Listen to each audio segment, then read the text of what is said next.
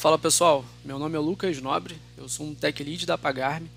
Eu estou aqui hoje no Pagarme Talks para falar sobre criar uma API RESTful com .NET. Então vamos aos tópicos da apresentação de hoje. O que é REST? O que compõe uma API REST? Acessando recursos, validação de dados e segurança. Então, começando já pela definição do que é REST, é, se você tentar buscar a definição na internet, você vai encontrar desde as mais simplistas até as mais complexas. Então, creio que essa aqui seja a mais objetiva. É, então, vamos lá? Trata-se de uma abstração da arquitetura da, web. Resumidamente, o REST consiste em princípios, regras e constraints que, quando seguidos, permitem a criação de um projeto com interfaces bem definidas. Desta forma, permitindo que aplicações se comuniquem, que é o mais importante. Então, vamos supor que você tenha sido contratado para desenvolver um e-commerce. E um dos requisitos desse e-commerce é que a, toda a parte de pagamentos aconteça aqui na Pagarme. Se você for na documentação da Pagarme, uma das primeiras coisas que você vai encontrar é que ela é uma API REST. Beleza, Lucas, mas e aí? O que, que isso significa para mim? Muitas coisas. Porque uma vez que você já saiba que uma API é REST, você de cara já sabe que ela compõe, ela é composta por, por, por, por essas cinco partes que eu separei aqui. Ela é separada por um URI, onde eu possuo aqui meus recursos que eu vou acessar, os verbos, que é justamente como eu vou manipulá-los, o cabeçalho, que é onde eu vou passar, posso passar aqui qual é o, o dado de autenticação, é, o tipo do, do body que eu vou passar desde a requisição e como eu vou interpretar na, na, no response. É, e eu tenho também o status code que vai me definir se foi um sucesso ou se aconteceu algum problema, se eu preciso mudar algo na minha requisição, é, ou se houve um erro, inclusive até mesmo na, na, própria, no próprio servidor. Né? Então, vamos daqui vamos dar uma olhada, baseado em, nos conceitos que a gente falou, como elas estão separadas desde um request no response. Então, no request, a gente tem o request body, o headers, a URI com os recursos e o verbo para manipular. É, quando a gente vai para o response, a gente tem um status code, o próprio cabeçalho e um, um response body também. É, beleza. Então, pegando aqui um, um exemplo para a gente dar uma olhada. Então, aqui eu peguei um, um erro bem comum inicial de quem está começando, é, onde pessoa acha que quando ela vai descrever lá a URL, ela precisa dizer exatamente o que está acontecendo, sendo que o padrão de hash não fala isso. Então vamos dar uma olhada aqui no enunciado. Faça um endpoint para salvar um comprador e outro para obter todos os compradores cadastrados. Então o camarada quando ele está lá aprendendo, ele vai lá dizer que a resposta é para cadastrar. Ele vai informar que a URL vai ser composta por API barra save customer, onde ele está de fato salvando aquele comprador. E para listar, ele vai colocar API barra get customers. Sendo que o REST não, não diz isso, né? O correto seria, para cadastrar, eu teria um verbo post, onde o recurso seria API customers, e para listar eu teria o verbo get com o recurso API customers também. É, então, uma das coisas que o REST diz como dica é use sempre substantivos para nomear recursos, não verbos. Ou seja, é, a ação do que vai acontecer com aquele recurso não cabe à, própria URI. É, cabe a, ao verbo dizer o que, que vai acontecer, né? É, que está logo ali, aqui abaixo. Né?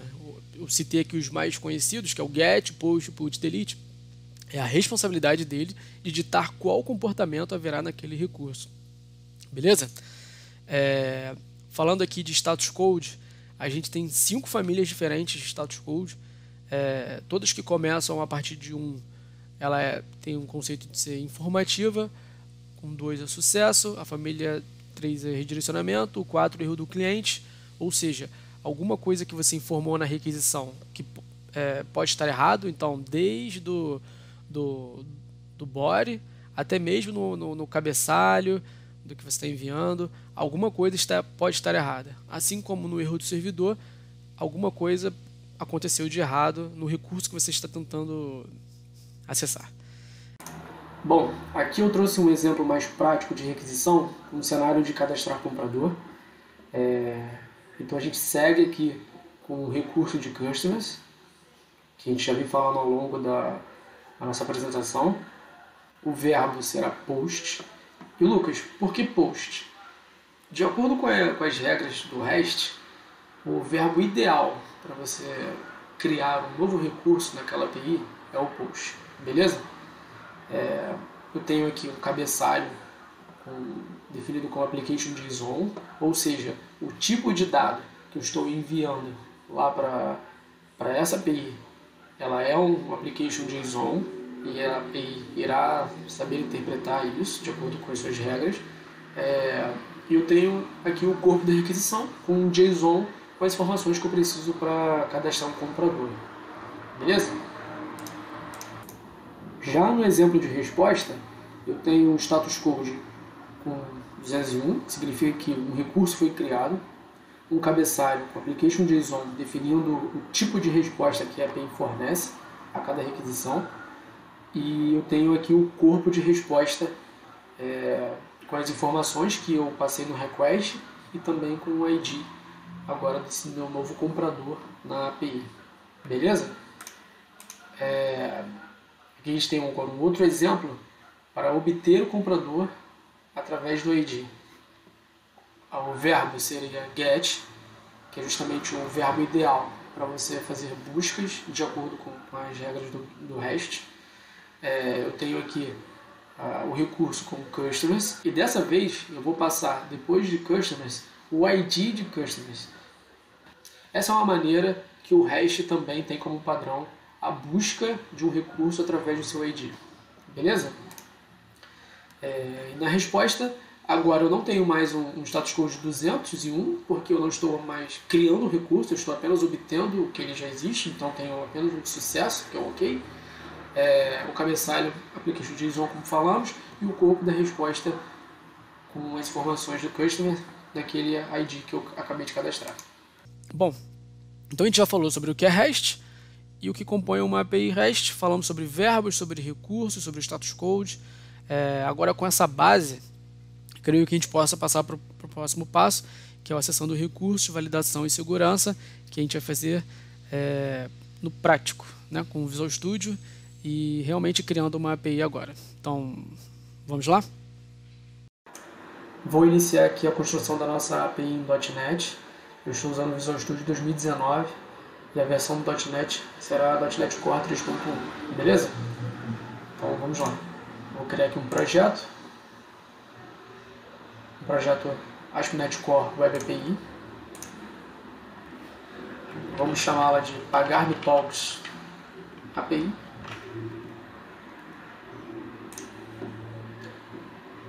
Ponto como falamos, vamos criar. Vou começar aqui já removendo as classes que nós não vamos usar. Que vem por padrão no template. Então, seguindo a, o que falamos na apresentação, eu vou construir aqui uma API com um recurso de customers é, e vamos seguir os exemplos iniciais que falamos na, na, na apresentação, só que em .NET. Beleza? Para adicionar um recurso em .NET, eu preciso inicialmente adicionar um controlador. E a partir dele é onde eu vou ter acesso a endpoints que vão fazer referência às manipulações tanto de URI, que eu posso passar mais informações, como na, na própria URL, como vimos na apresentação, ou de acordo com o verbo HTTP que eu estiver passando, beleza? Como no nosso caso é um recurso de customers, então eu vou criar aqui um controlador de uma API. Aqui tem vários exemplos, eu posso criar alguma coisa pré-pronta, é, usando o Ent Framework, mas vamos criar um vazio. E aqui vamos chamá-lo de Customers Controller. Com o nosso controller criado, vamos seguir os mesmos exemplos que falamos na apresentação. Então eu vou criar agora para este recurso um endpoint de post para fazer um cadastro de comprador. posteriormente vamos fazer também o get, beleza? Então vamos lá. Eu vou criar aqui um endpoint de post. Vou decorar esse método para que o .NET entenda que toda requisição que cai aqui tenha que vir com o verbo post na requisição. Beleza? Bom, qual é o próximo passo? Como a gente aprendeu na, na apresentação, nosso endpoint de post precisava de um contrato de requisição e um contrato de resposta, certo? Então, vamos criá-lo. É, vou criar aqui uma pasta de contratos.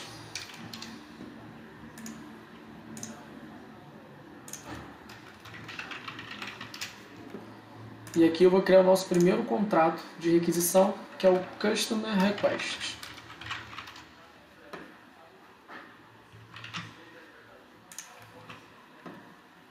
Beleza? E aqui eu vou colocar o tipo de dado que vai chegar na requisição como Customer Request. Beleza?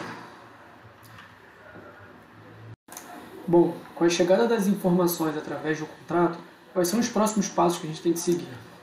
É, precisamos transformar as informações de contrato em nossa regra de negócio, persistir no banco de dados e ter um retorno de status code para quem está nos requisitando, certo? É que está aqui a princípio com um OK, que representa o nosso status code 200. É, então, seguindo aqui a nossa primeira linha, vamos criar a nossa classe que vai representar a nossa regra de negócio. Então, antes, vou criar aqui uma pastinha de entidades Vou chamá-la aqui de Customer. Eu também já tenho aqui um código pronto para ela. E o que, que tem aqui nessa entidade, né? Eu tenho aqui os campos, que a gente já falou durante a apresentação, que é o nome, e-mail, document, document type. Eu tenho um construtor que vai receber o contrato e após isso ele vai lidar com essas informações. Então ele cria uma chave externa para esse, contra, é, esse comprador, ele repassa as informações de nome, e-mail, documento, tipo de documento para cá, e ele pode fazer qualquer outra coisa aqui. Eu posso ter validações para esses dados, eu posso recusar a construção desse customer, posso fazer diversas coisas por aqui. Beleza? É... Então, Após isso, nós vamos criar o nosso customer conforme falamos aqui, usando o nosso construtor da classe. Beleza? Qual é o próximo passo? Persistir no banco de dados. Como não faz parte da nossa apresentação falar sobre persistência de dados, eu crio uma classe de acesso a dados, mas que ela vai mocar todo o comportamento. Beleza? Então eu vou criá-la aqui, separada, na página chamada Repositories. E eu vou ter aqui um Customer Repository.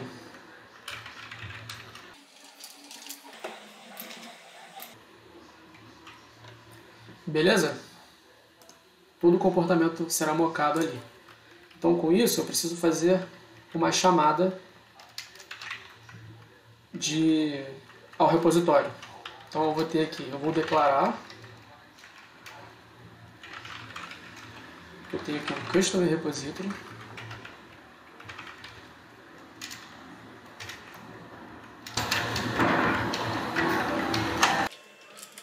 instanciá-la toda vez que uma requisição bater na construção do controlador. Beleza? E aqui a minha persistência de dados vai acontecer nesse instante. vou chamar aqui o método save, que vai estar preparado para lidar com a nossa entidade de custom. E agora que já sabemos manipular o contrato, a nossa regra de negócio, sabemos persistir o dado, agora precisamos criar a resposta desse endpoint. É, então precisamos de um contrato de resposta. Então vamos criar aqui a classe chamada Customer Response com todas as informações que quem está requisitando este endpoint precisa saber. É... E agora a gente vai criar um mapeamento das informações que existem desse customer para o nosso contrato de resposta. Então eu vou ter aqui ó, response, eu vou chamar este método que vai receber o próprio customer. Toda vez que ele chegar aqui, ele vai mapear cada informação para cá. Beleza? Lucas, por que você está fazendo essa separação do próprio customer e do, e do customer response? Qual é o verdadeiro ganho? Na entidade, eu tenho aqui, por exemplo, campos de ID, external ID, entre outros, certo? O campo de ID é a minha chave forte do customer. Então eu não quero expor esse dado a quem está requisitando o meu endpoint. Então eu crio uma chave externa para que ele possa usar e no momento que eu vou mapear todas as informações de customer para o contrato de resposta, ao invés de eu repassar o ID como chave forte, eu passo a minha chave pública, vamos dizer assim. E dessa maneira a gente consegue o nosso resultado final. Eu vou acessar o Postman para fazer requisições na nossa API. Então, vamos lá. Queremos fazer um post de comprador. Vou colocar aqui o meu recurso, API Customers. É, meu contrato é do tipo JSON, como falamos. Então vamos lá. Eu vou passar name, e-mail,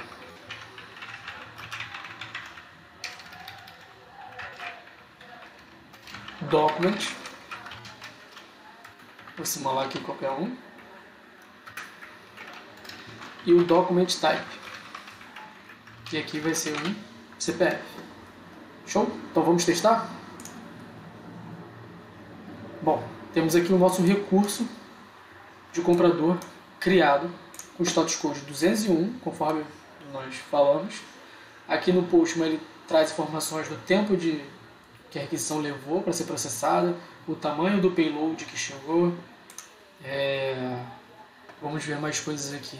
No cabeçalho de requisição, o Postman se encarrega de trazer, de enviar, na verdade, diversas informações à nossa aplicação e cabe a ela querer interpretar ou não. Uma delas, acho que a única realmente relevante aqui é o content type, que é o application JSON, conforme falamos, certo?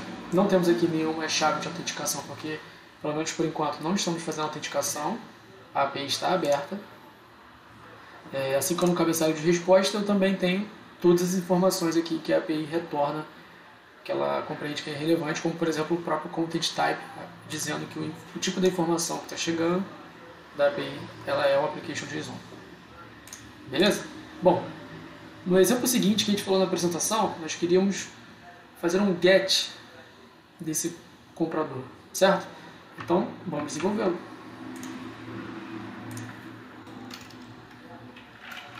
Vou criar aqui nosso novo endpoint, que vai receber um ID. E agora, eu preciso buscar esse comprador através do nosso repositório, certo? Então eu tenho aqui um get by ID que eu vou passar o ID como parâmetro para ele. Em seguida eu vou criar a resposta conforme fizemos no endpoint de post e vou retornar aqui um OK com a resposta. E por que não é o 201 o status created, como falamos antes. Porque nesse caso, no get, nós não estamos criando recurso, concorda? estou apenas obtendo o recurso que já existe na API. Está faltando alguma coisa? Tá. Se eu passar uma chave que ela seja inexistente, que não, faça, não, que não está aqui na nossa abstração de, de repositório de banco de dados, eu vou retornar not found, que é o nosso status code 404, como eu falei na apresentação, todo status code começa com o número 4, ele indica erro do cliente. né? erro do lado do cliente. Alguma informação que chegou na requisição, ela não está correta. Bom, até aqui tudo bem. Então, vamos testar o nosso endpoint? Vou criar aqui uma aba nova para fazer a requisição GET.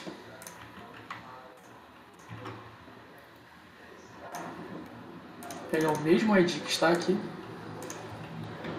E conforme nós falamos na, na apresentação, eu passo o ID do recurso criado anteriormente e eu vou obter este recurso através. Então está aqui o nosso recurso obtido pelo GET, passando a chave ID que já existia, status code 200 ok, o tempo que ele levou para trazer informação, o tamanho do payload, o cabeçalho segue o que a gente já vem falando. Agora eu não tenho um content type, né? porque eu não estou passando nada na requisição. Assim como no headers, aí sim eu já tenho, porque é o tipo de dado que a API está retornando. Beleza? É... Continuando falando sobre a busca de customer na API, é... então finalizamos agora a busca de customer através de um ID, né? passando na URL. É... Vamos agora implementar um outro exemplo que falamos também na, na apresentação, que seria a busca de todos os customers. Beleza? Então, vamos lá. Eu vou criar aqui um novo endpoint. Agora sem parâmetros, pelo menos por enquanto. Quero apenas a busca sem filtro, sem nenhuma regra. Então vamos chamar aqui todos os, os customers. É, vou verificar se essa lista de customers está vazia.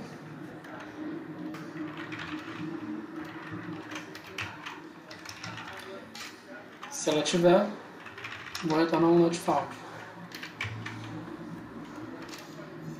Beleza? É... E agora, com os customers já preenchidos, eu preciso mapear a resposta. Sendo que, como a gente está falando aqui de uma lista, eu não posso simplesmente chamar o create response, porque ele lida apenas com um único customer, não com uma lista.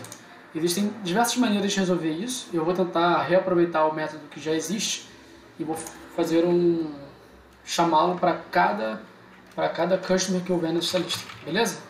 Então, eu vou aqui primeiro criar o meu tipo de resposta, que vai ser uma lista de Customer Response. Em seguida, eu vou fazer um for each de Customer, em cima da lista de Customers. E aí, aqui, peraí, eu vou fazer aqui um response add. Eu vou chamar, agora sim chamar o create response passando cada customer. Ou seja, dessa maneira, a cada customer que houver na lista, eu vou adicionar na lista de, de resposta um novo customer mapeado para o contrato correto. Beleza? E por fim, eu dou um return OK com o response, que dessa vez vai ser uma lista. Beleza? Então, vamos testar o nosso endpoint?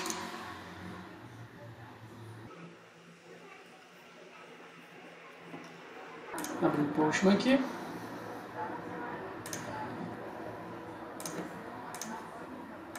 vou dar várias requisições aqui de criação para a gente começar a ver uma lista de customers preenchidos, beleza? Então eu vou criar a regra aqui com o recurso com o Lucas Nobre, depois vou criar aqui um novo cara chamado Tony Stark. Vou passar agora um documento diferente.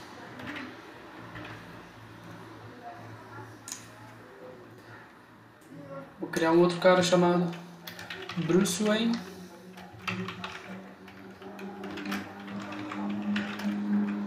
Com outro documento diferente. E aqui vai ser um, um passaporte. Beleza? Assim que eu dei o get, agora sem passar o ID, porque eu não tenho um parâmetro, concorda? Assim que eu chamar, vão vir todos os customers já inseridos na base. Beleza? Então nossa API agora tem um endpoint para inserir novos recursos, um endpoint para buscar o recurso através do seu ID e buscar todos de uma única vez, certo? Dos verbos que a gente falou na apresentação, só está faltando dois, que é o HTTP put e o delete, certo? Então, vamos implementá-lo. O put nada mais é do que um verbo ideal para ser usado em atualização de, uma, de um recurso, mas uma atualização completa, não parcial. Beleza? Então eu sempre tenho que formar o ID do recurso e depois o seu contrato. Assim como fizemos antes, vou definir que o ID estará sendo passado. E aí vamos lá. É, quando um contrato chega, eu preciso primeiramente buscar o customer existente, certo? Através do seu ID. É, em seguida, eu chamo o método de update do domínio, que aqui nada mais é do que pegar todas as informações que vieram do contrato e sobrescrever o que já existe na minha regra de negócio, beleza? E por fim, eu chamo meu repositório para fazer o update. Pronto, agora eu preciso dar uma resposta. É, aqui eu posso escolher diversos status codes. Geralmente o mais comum em uma atualização é o status 204. E nesse caso a gente não tem a necessidade, segundo a regra do REST, de colocar o payload na resposta. Beleza? É, vamos testar?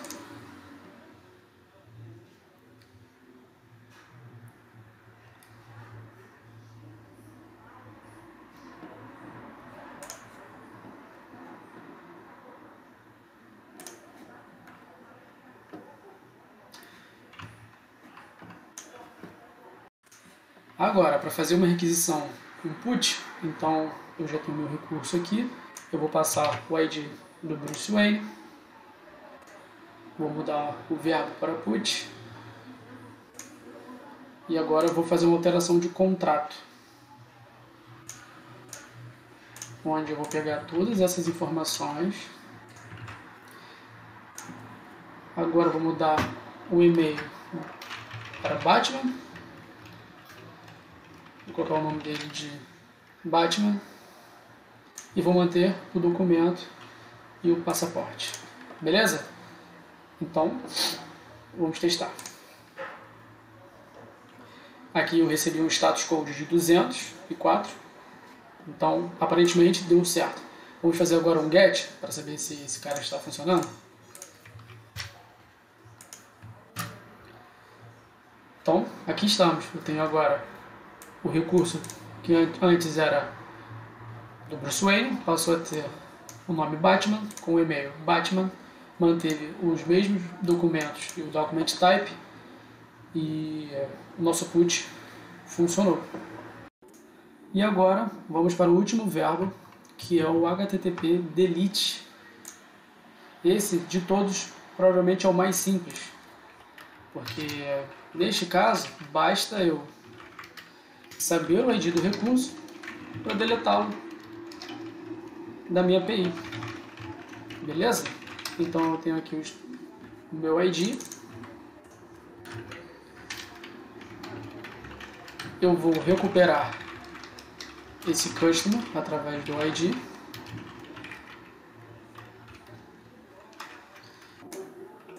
Vou verificar se ele existe, né?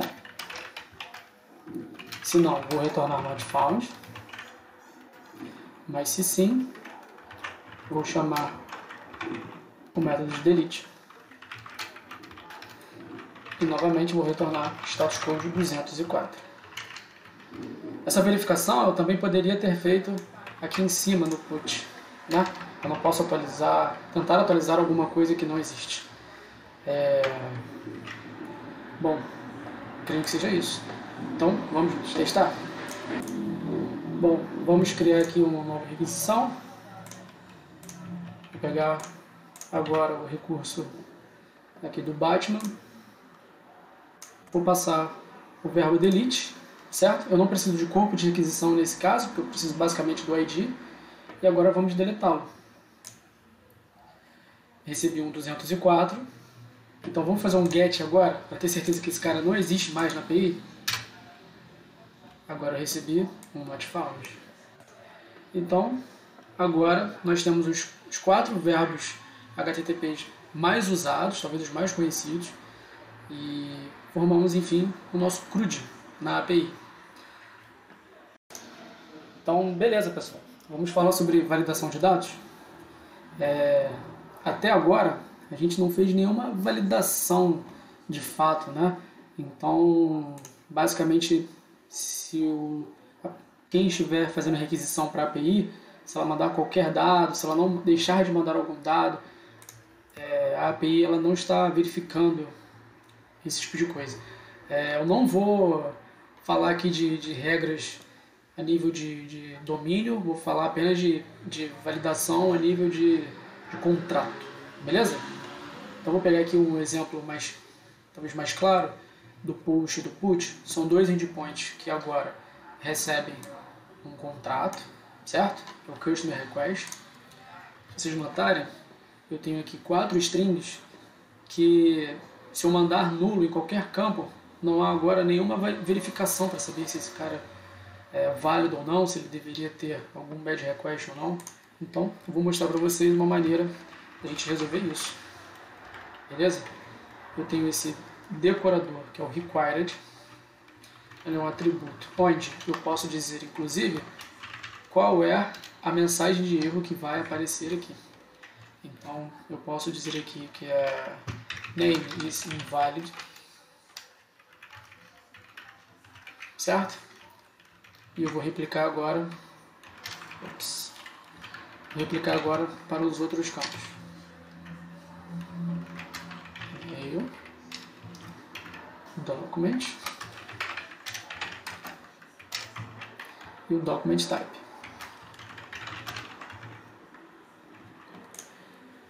Beleza? Então, como o tipo do contrato tanto está no push quanto no put, então ele vale para ambos os endpoints, todas essas regras que falamos. E até que faz todo sentido, porque o put também depende do contrato por inteiro, de estar tudo preenchido para fazer a atualização do, do, recurso na API, certo? Já que o put ele é uma atualização completa, não parcial. É... Bom, é só isso, Lucas? Não, eu preciso também fazer uma verificação para essas regras serem chamadas. Então, se eu chamar o model state, que corresponde ao parâmetro que foi associado né, ao endpoint, se ele está válido, nesse caso estou negando, eu vou retornar um bad request. E essa regra vai para o mesmo lugar aqui do put antes de fazer a chamada do customer. Eu vou validar sempre se o contrato está correto antes de fazer qualquer coisa no fluxo da API. Então vamos testar.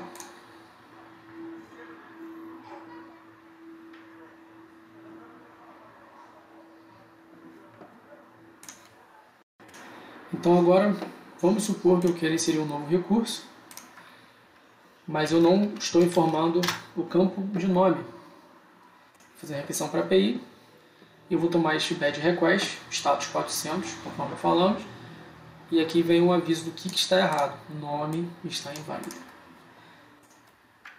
Se eu tirar agora e-mail, vem tanto nome quanto e-mail, certo?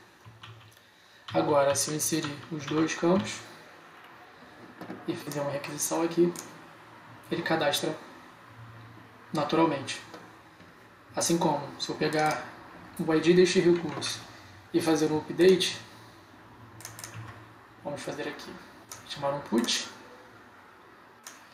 vou pegar esse mesmo contrato E agora vou colocar de volta para o e-mail para o Bruce Wayne, mas eu não vou informar o nome. Vou fazer uma requisição para API e ele vai me dizer que o nome está inválido. Então agora nós conseguimos fazer validações tanto no endpoint de push quanto no put. E aqui concluímos essa etapa. Por último, quero falar sobre segurança. Como vocês repararam, nenhuma das requisições que fizemos à API havia autenticação. Né? Eu mostrei diversas vezes o cabeçalho nos endpoints, em nenhum momento passamos algum dado que fosse para validar ou autenticar. É, geralmente, como falamos na, na apresentação, um dado de autenticação é repassado justamente pelo cabeçalho. Ele pode estar encriptado ou não, ele pode ter uma regra bem mais complexa de segurança ou não.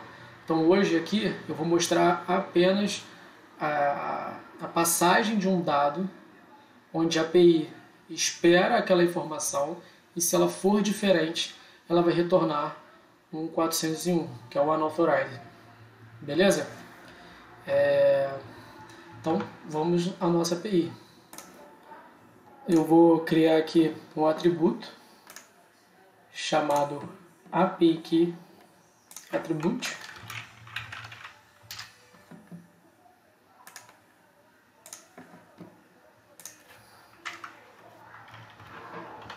Esse atributo será colocado lá no nosso controller de customers. Beleza? Antes da gente ir para lá, deixa eu explicar um pouco o que, que é esse cara aqui. A ideia do método de OnAction Execution é de é, fazer alguma ação antes que a requisição seja executada. Então, esse código vai acontecer, ele vai ser executado antes mesmo da requisição chegar aqui no endpoint e seguir com as regras que definimos anteriormente. Beleza? Então, esse contexto faz total parte da requisição. Então, quando eu olho para essa sequência aqui de objetos, veja que eu, ve, eu tenho HTTP context, eu tenho o objeto de request e eu tenho o headers. Ou seja, eu consigo saber qual cabeçalho está chegando na minha requisição. Nesse fluxo aqui, basicamente, eu primeiro verifico se o, a chave que, que eu estou esperando, que o nome dela é API que ela está sendo enviada no, no cabeçalho. Ou seja, se sequer ela estiver sendo enviada, eu nem deixo passar. Eu já retorno um 401 de unauthorized e respondo que a API key was not provided. Beleza? Agora, caso a informação, caso a chave já tenha sido enviada, beleza. O passo seguinte é, eu vou lá nas minhas configurações da, do App Settings, que a gente vai chegar já já, e eu vou pegar a chave que, que possui, o valor que possui, o valor, e eu vou lá pegar o valor da chave API key que eu tenha cadastrado previamente. E por fim, eu verifico se o valor que chegou no cabeçalho é igual ao valor esperado pela minha API. Se ela for, eu sigo em frente. Se não, eu também retorno um 401. Beleza? É... Vamos dar uma olhada agora no App Series. Eu vou ter aqui uma chave chamada API Key, conforme o que falamos anteriormente. E eu vou cadastrar aqui um guide.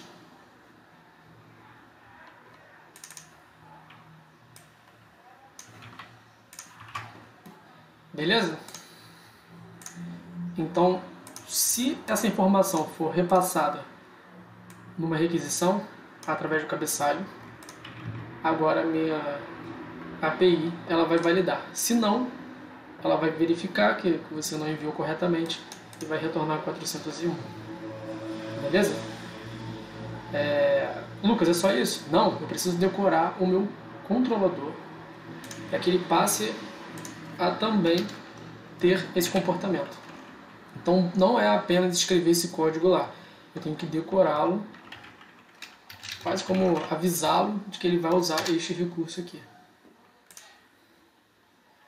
Beleza? Então, vamos testá-lo. Já vou deixar preparado a cópia daquela chave.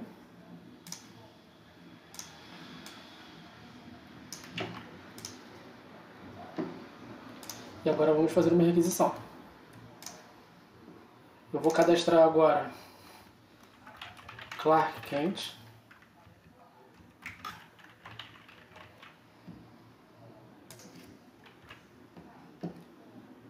E vou mudar aqui o documento, só para seguir o passo que a gente estava fazendo.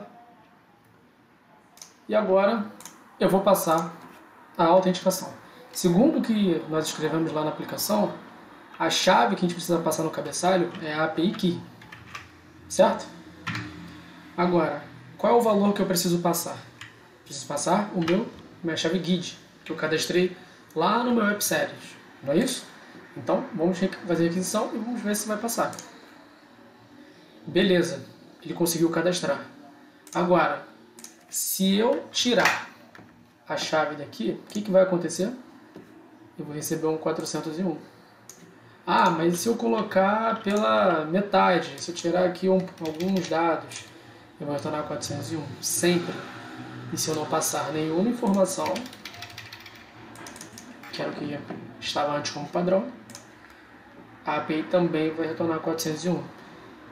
Então, aqui, creio que já conseguimos finalizar todo o, o papo sobre toda a apresentação é, do que eu queria falar. É, desde o início sobre a definição de hash, a gente falou sobre é, recursos, falamos sobre verbos, sobre status code, mostramos aqui um CRUD com .NET, mostrando validações, por fim, finalizamos agora com segurança. Bom pessoal, muito obrigado pela atenção de vocês, espero que vocês tenham gostado de verdade desse vídeo. É, curtam e sigam o Pagar Talks, principalmente na semana do .NET. E se vocês tiverem alguma dúvida ou sugestão, podem comentar no vídeo. É, e claro, acesse nossas vagas através do link que estará na descrição do vídeo. Beleza? Valeu!